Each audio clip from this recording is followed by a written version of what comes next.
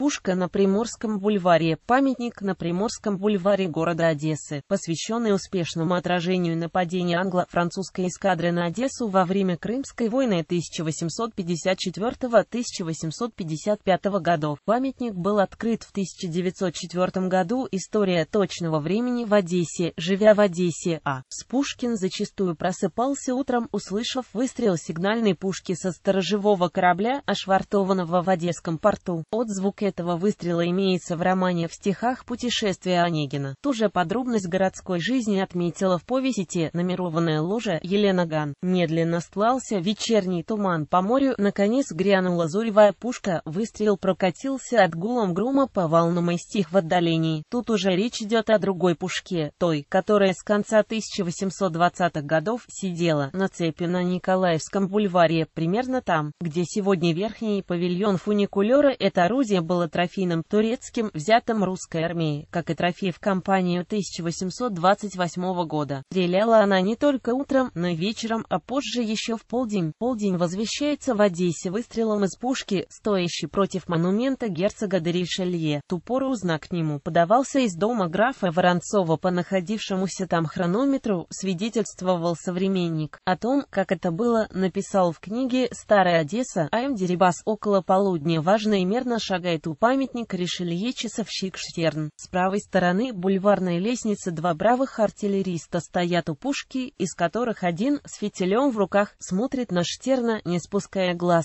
Вдруг Штерн машет рукой, грянул пушечный выстрел, и все портовые суда оглашается веселыми звонками. Часы тогда, особенно карманные, имели далеко не все, городских часов было и того меньше. И сигнальные выстрелы позволяли хоть как-то ориентироваться во времени. Недаром в росписи городских городских расходов наряду с поливкой бульвара, содержанием городских садов и газовым освещением улиц была предусмотрена поверка, а также исправление городских часов и сигнальные выстрелы, для которых не было ни выходных дней, ни праздников. Почему пушка была на цепи? Медь в XIX веке была в цене и не только сейчас имеются охотники за цветными металлами. В одну из ночей перед самой Крымской войной стоявшая на бульваре у подножия памятника Дюку де Ришелье медная сигнальная Школьная пушка бесследно исчезла. Все старания полиции найти ее были тщетными. Позже стало известно, что пушку распилили на части и медь употребили в дело. Полиция и градоначальник были в отчаянии от этого скандального происшествия. Через некоторое время после этого случая к градоначальнику на прием попросился из тюремного замка арестант Мазурик для секретного разговора. Случаи, когда арестанты сообщали какую-нибудь тайну лично градоначальнику, без свидетелей, уже бывали и раньше. Арестант арестант, опасный преступник в цепях, был приведен в кабинет градоначальника под конвоем. Он заявил, что может указать свидетеля, который видел, кто и когда уворовал пушку. За открытие секрета он потребовал 5 рублей. Градоначальник согласился и приказал одесскому полицмейстеру отправиться вместе с арестантом туда, куда тот укажет. Арестант привел полицию на бульвар как на свидетеля кражи, указал на Дюка де Ришелье, у ног которого раньше стояла пушка. Градоначальника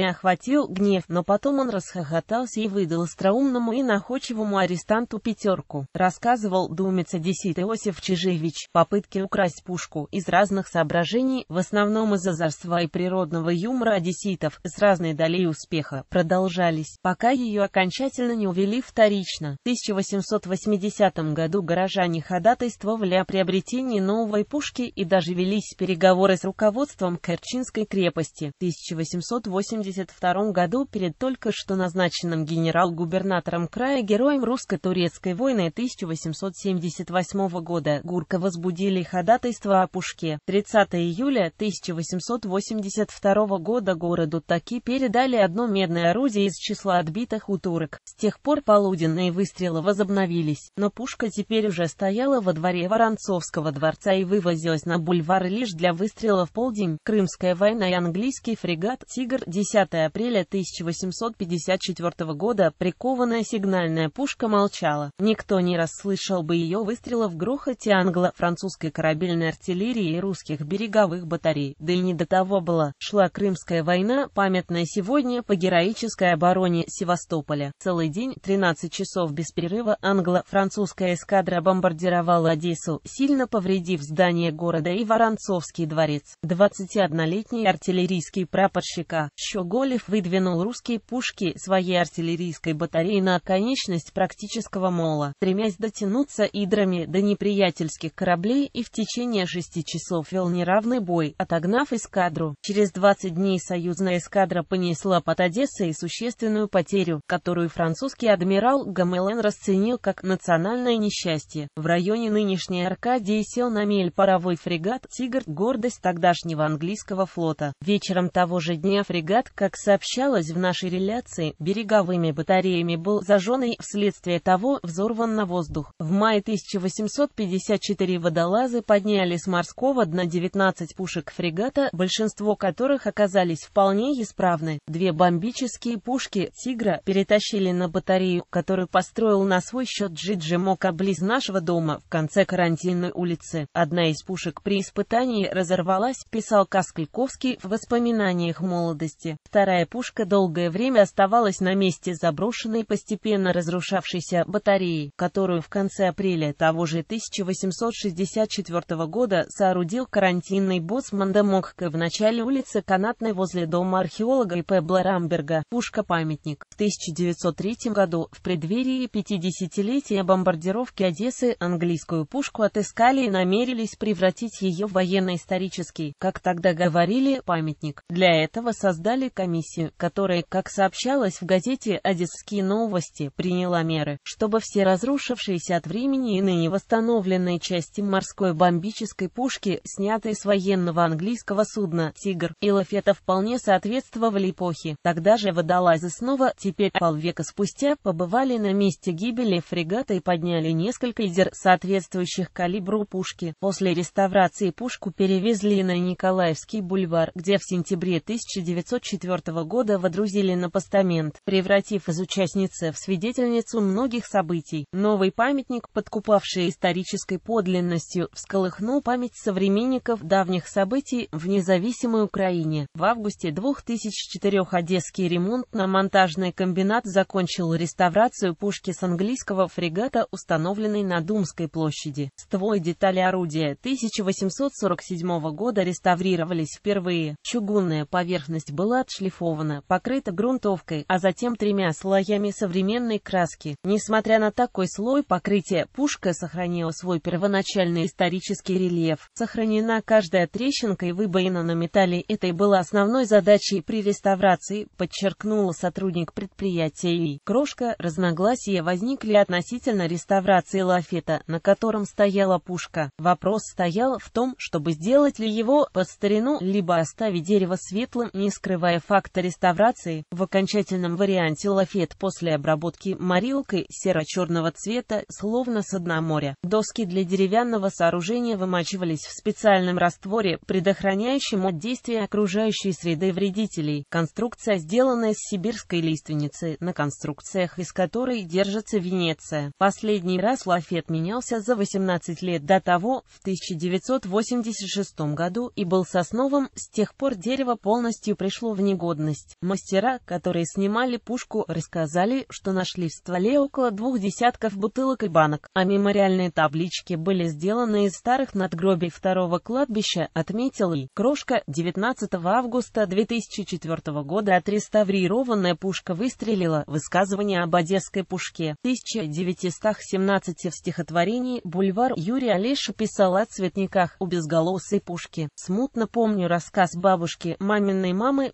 слышанный ею, в свою очередь, от ее мамы, то есть моей прабабушки. Историю артиллерийского прапорщика Щеголя писал в книге «Разбитая жизнь» или «Волшебный рок Аберона» Валентин Катаев. Сам артиллерист в Первую мировую и гражданскую войну. В произведениях Катаева то и дело возникает одесская пушка. В дни январского восстания 1918 года герой романа «Волны Черного моря» Гаврик Черноиваненко, обороняет Гайдамака в Центральной Рады Николаевский бульвар, поставил один из пулеметов, которыми был вооружен красногвардейский отряд. У подножия знаменитой исторической чугунной пушки. По воле автора Гаврик придет сюда и в октябре 1941 в последний день обороны Одессы. Перед уходом партизанского отряда в катакомбы они подошли к стоящей над обрывом старинной чугунной пушке на ступенчатом деревянном лафете. Из-под обрыва торчали тонкие стволы зенитных орудий. Пройдет два с половиной года и вышедший из катакомб Партизаны придут на Приморский бульвар, где пушка по-прежнему смотрела в открытое море, широко и свободно синевший за портом. Это было 10 апреля 1944 года, ровно через 90 лет после бомбардировки Одессы англо-французской эскадры, в день, о котором в 1942 году мечтал и написал в стихотворении «Одесса» Семен Керсонов.